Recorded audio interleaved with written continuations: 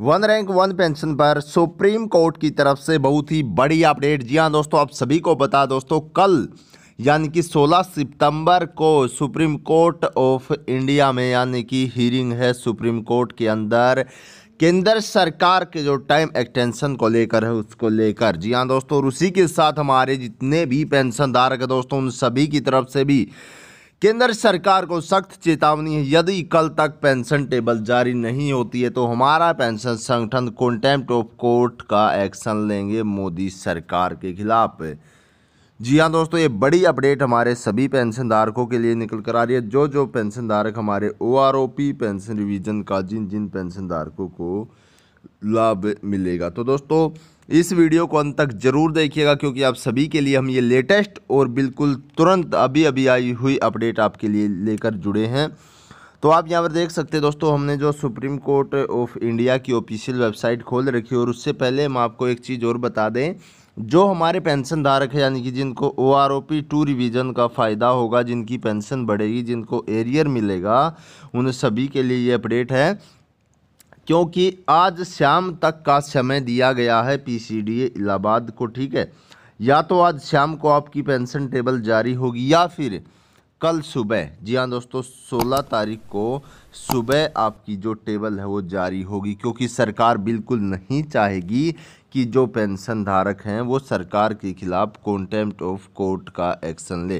दोस्तों contempt of court का action होता है यदि कोई भी जो सुप्रीम कोर्ट के फैसले को मानने से इनकार कर देता है या उसे अनसुना कर देता, तब हम कोई भी देश का जो है वो, जो उस, जो पार्टी है, उस पर कॉन्टेम्प्ट ऑफ़ कोर्ट का एक्शन ले सकता। तो दोस्तों, यहाँ पर आप सभी को पता होगा दोस्तों, जो पेंशन संगठन है, वर्षिज जो मोदी सरकार है, उसके बीच जो केस चल रहा था, one rank one pension vision को लेकर तो यदि सरकार जारी नहीं करती है one rank one pension two का रिवीजन टेबल तो फिर हमारे पेंशन धारक बड़ा एक्शन लेंगे और केंद्र सरकार चारों तरफ़ से घिर जाएगी। तो दोस्तों, उससे पहले यहाँ पर जो केंद्र सरकार हो सकता है, आज शाम को आपकी टेबल या फिर कल सुबह आपकी जो पेंशन रिवीजन टेबल है, वो जारी कर दे हमारे सभी पेंशन धारकों की, जो जो हमारे पेंशन धारक सभी की। दोस्तों, हम आपको एक चीज़ और बता दें। One rank, one pension revision को लेकर हमारे जो पेंशन धारक हैं और चाहे आप किसी भी रैंक से रिटायर्ड हैं, आपकी जो मंथली पेंशन बढ़ेगी, यानी कि मैं बात कर रहा हूँ दोस्तों, बेसिक पेंशन की। जो आपकी बेसिक पेंशन बढ़ेगी, उसमें आपकी, आप किसी भी पेंस जो है रैंक से रिटायर्ड है या आप सिपाही, नायक, हवलदार, या फिर जो है आप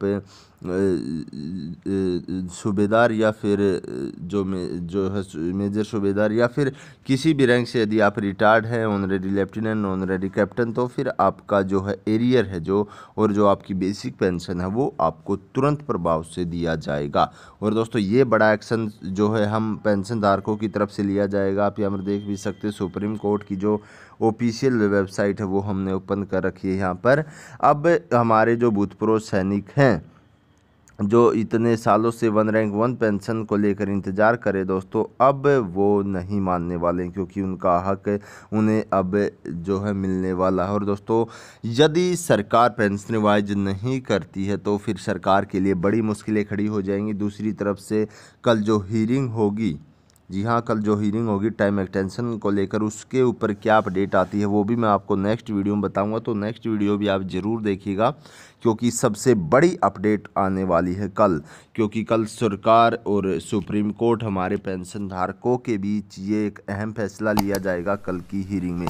तो दोस्तों, वो वीडियो आप ज़रूर देखिएगा। आज की वीडियो में इतना ही दोस्तों, किसी भी समय जो आपकी P C D Allahabad pension revise कर सकता है पूरे पूरे इसके चांस बने हुए हैं। तो दोस्तों, यहाँ पर आप देख सकते हैं जो सुप्रीम कोर्ट की ऑफिशियल वेबसाइट से हमने आपको अपडेट दी है। तो वीडियो को लाइक ज़रूर कर दीजिए और हमारे सभी पेंशनधारकों को इस वीडियो को शेयर भी ज़रूर कर देना। आज की वीडियो में इतना ही। सभी पेंशनधारक समाज को हमारी तरफ़ से जय हिंद, जय भारत।